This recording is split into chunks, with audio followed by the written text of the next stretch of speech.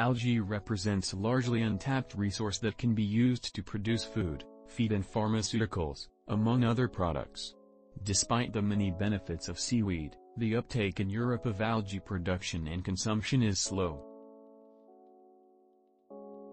During the EIT Future of Food conference in June 2022, Virginijus Sinkevičius, European Commissioner for Environment, Oceans and Fisheries and one of the seven members of the Commissioners Group on the European Green Deal, stressed the interests of the EU in uplifting this sector within the member S. The market interest peaked in 2017, when the health benefits of spirulina, the green algae powder to add to drinks and shakes, had been discovered and became a trend.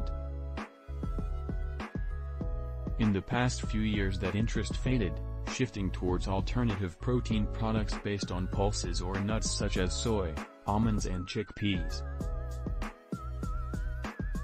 However, algae and seaweed are slowly appearing within restaurants' menus or as an ingredient in cereal products such as pasta, in order to increase their protein value.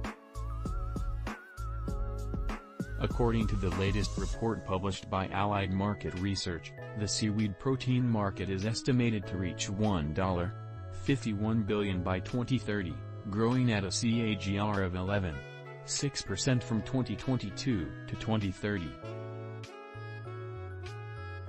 The website Protein Directory, an aggregator of alternative protein companies and startups, lists over 100 companies worldwide which are currently developing algae and seaweed products. In Europe, enterprises involved in the algae value chain, covering macroalgae, microalgae and the cyanobacteria spirulina employs at least 8, 600 employees.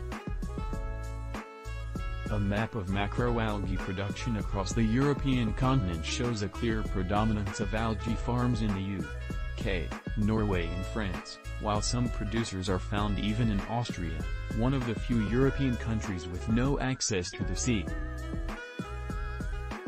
Just 10 years ago a Dutch entrepreneur started his business on a cargo bike, cleverly marketing his products as a weed burger, due to the country's well-known open drug policy towards weed consumption. The company Dutch Weed Burgers product was a seaweed-enriched plant-based burger and 10 years later, its market extends to child-friendly vegan fish fingers. Seaweed remains a very scalable solution to the climate crisis as it provides ecosystem services such as the absorption of excess nutrients, lower environmental footprint in aquaculture products,